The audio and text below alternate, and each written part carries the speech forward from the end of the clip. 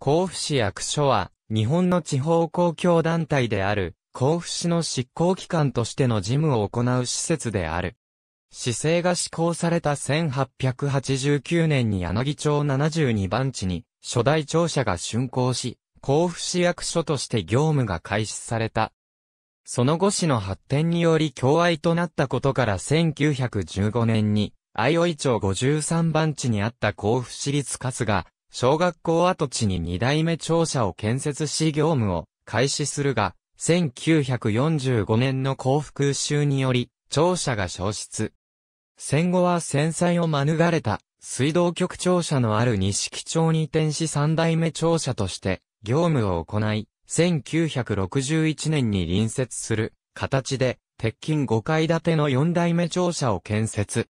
その後業務対応化により、手狭となったことから1975年にかつて、甲府中央郵便局として使用された建物を取得し、視聴者に改修。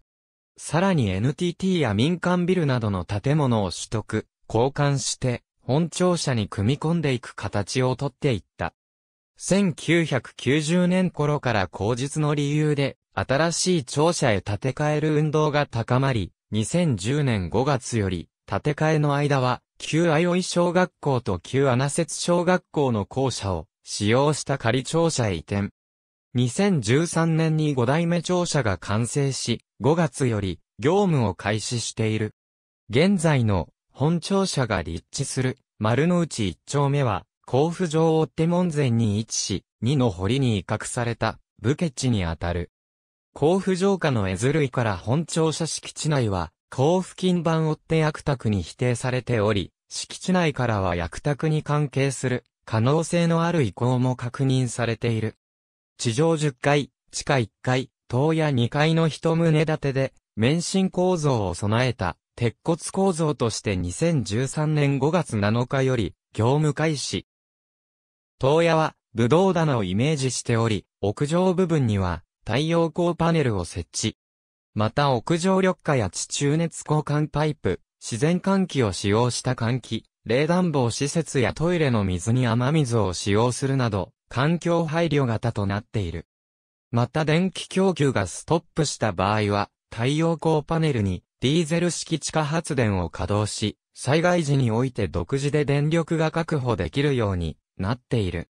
1階に140台収容の来庁車用、駐車場と市民広場を設置し、エントランスを介してエレベーターとエスカレーターで上層階へ登れるようにしている。窓口は2.3階に集約して、旧庁舎で懸念されていた窓口分散を解消。5階にある市長室をはじめと4階から9階までの各部署の執務室は、職員用通用口を介するなどして、セキュリティ性を高めており、最上階は、市議会議場を囲む形で展望フロアを設けている。地階は、職員用駐車場とし、旧庁舎で問題になっていた駐車場不足の解消も行っている。一般市民が自由に立ち入りできるのは1階から3階までと10階のみとなっている。展望フロアは年末年始を除き8時30分から21時30分まで利用可能である。甲府市役所に市庁舎住所、山梨県甲府市宝2-8-19甲府市役所、南庁舎、旧、市立甲府病院を利用している。2013年8月撮影。住所、山梨県甲府市幸い町15-6、関連施設として、上下水道局建屋などが存在する。初代甲府市役所庁舎。1889年市政施行当時の写真。二代目甲府市役所庁舎。1918年市政施行30周年式典時の写真。四代目甲府市役所庁舎。2007年12月撮影。1号館から4号館まで存在。内甲府市が独自に建設したのは1号館のみであり、2号館から4号館は既存建物を取得の上改装し使用していた。2010年に新庁舎工事のため全建物が解体された。2棟存在したが、1995年本庁舎3号館と交換する形で NTT に売却。その後建物は解体され、現在は NTT ドコモ甲府丸の内ビルになっている。もともとは2005年に閉校した甲府市立相生小学校の校舎であった。甲府市、ゆき公園附属動物園に隣接する形で1965年に竣工。当初は公民館の機能を有していたが、甲府市総合市民会館の竣工、機能移転後は建設部や市教育委員会などが入居していた。築50年以上が経過し、老朽化が著しく、2013年に入居していた部署が新築された本庁舎へ移転を機に建物は閉鎖、解体されている。2003年から2009年までの間、かつて大英甲府店が入居していた甲府銀座ビルの一部を借り上げ市民交流施設に当てていた。また、甲府西部としてかつて営業し、その後県の施設である山梨県民情報プラザの一部フロアを間借りしたこともある。甲府市役所新庁舎旧庁舎は1961年に建てられた1号館をはじめ4棟ある本庁舎がいずれも築40年以上と老朽化が進行しており、1998年に行われた耐震診断において東海地震が発生した場合倒壊する可能性が極めて高いことが指摘された。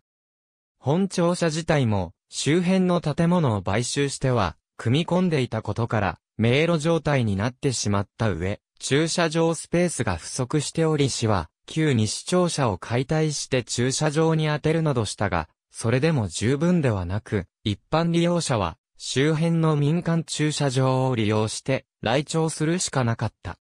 さらに、敷地面積の都合によりこれ以上拡張することができず、一部組織が本庁舎から離れた市施設へ分散、さらには民間ビルや県の施設を間借りしてその場をしのぐ状態であった。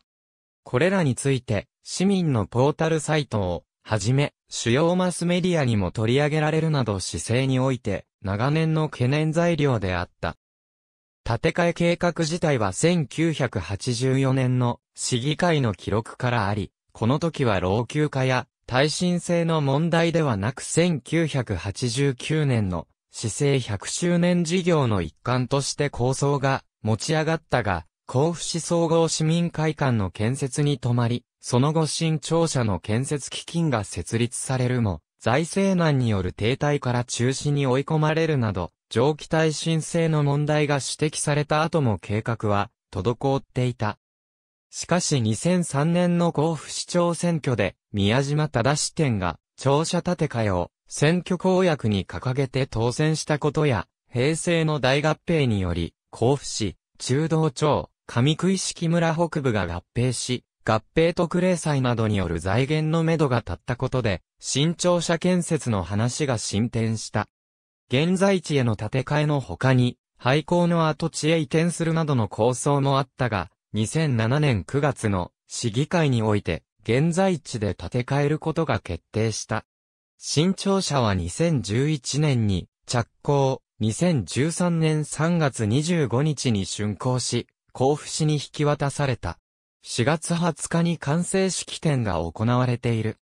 春日小学校は、現在の丸の内2丁目に移転したが、2005年に甲府市立相生小学校、甲府市立穴節小学校と合併し、甲府市立舞鶴小学校となった。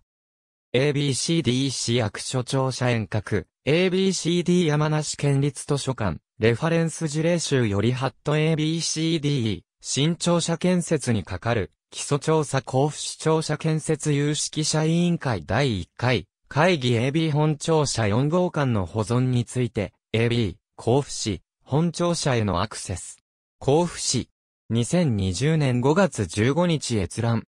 甲府市新庁舎基本計画朝日新聞2007年1月12日付県内版。記事。読売新聞2007年9月22日付県内版記事など、甲府市新庁舎が3月25日に完成した。ありがとうございます。